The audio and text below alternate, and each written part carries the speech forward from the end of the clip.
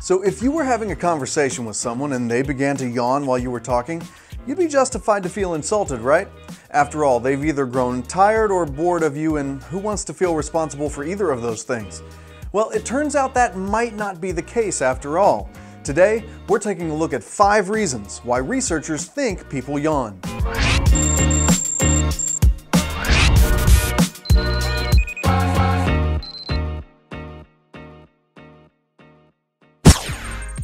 Reason number one, a change in alertness. Now, while it's obvious that we yawn when preparing to go to bed or begin a task when we're tired, there are other occasions where yawning is common but not necessarily related to fatigue.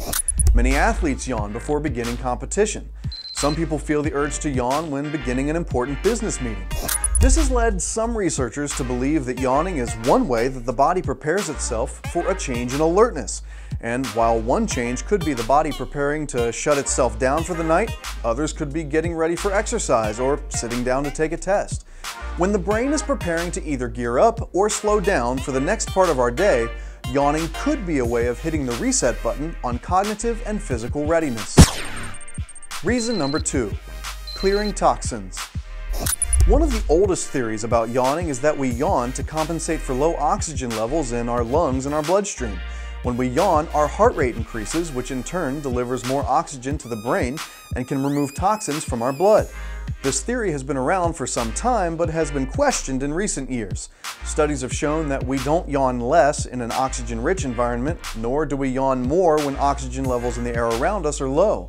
Nevertheless, the sudden intake of oxygen in a yawn does increase oxygen levels in our blood, leading some scientists to believe that yawning is primarily a respiratory function. Reason number three, cooling the brain.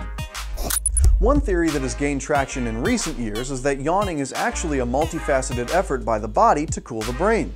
The facial movements of yawning increase blood flow, a deep breath in draws spinal fluid from the brain, and the cooler air from outside of the body cools the fluid before its return. Additionally, studies prove that we yawn more often when the air outside of our body is cooler than our body's temperature. Dr. Andrew Gallup, a postdoctoral research associate at Princeton University, told WebMD, Together, these processes may act like a radiator, removing blood from the brain while introducing cooler blood from the lungs and the extremities. While Gallup acknowledges that this might not be the only reason that humans and other vertebrates yawn, this theory is the only one that coincides with all of the findings of his research. Reason number four, communication. Now, it should come as no surprise to any of us that yawning is contagious. In fact, there's a 45% chance that you have yawned during this video based solely on hearing me say the word yawn or seeing pictures of other people yawning. Some studies have shown that people who are affected by contagious yawning are more likely to show up as having a propensity for empathy in personality profiles. One Chinese study suggested it's not empathy that's at play, but a greater awareness of social cues. Regardless, the fact that yawning is provably contagious likely means that it serves more than just a physiological purpose. Some scientists believe that it's rooted in the communication of alertness or readiness within a people group, or possibly to show others that you are empathetic to their current physical or mental fatigue. Reason number five, remaining fetal behavior. Are there things in your life that you do out of pure habit? Well, yawning might be one of those things. There are researchers who believe that yawning serves no physiological or social purpose. Instead, they believe that it's just a leftover impulse from before you were even born. Research shows that before a baby is born, they will yawn in utero as a means of clearing fluid and tissue from their airways.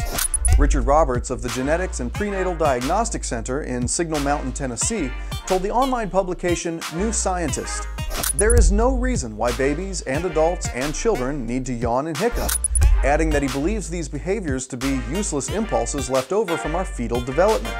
And if that's true, then 45% of you have been yawning throughout this video for absolutely no reason. So the next time your boss is offended by that pre-presentation yawn that you displayed in front of the CEO, just tell him it's a part of your warm-up routine, because there are reasons why people yawn. Just make sure everyone else isn't yawning during the presentation. That could be your fault. Hey, thanks for watching. If you like this video, be sure to hit that like button. And if you have an idea for something you want us to cover here on 5R, please leave a comment down below and let us know what that could be. Don't forget to subscribe and hit that notification icon, and we'll see you next time.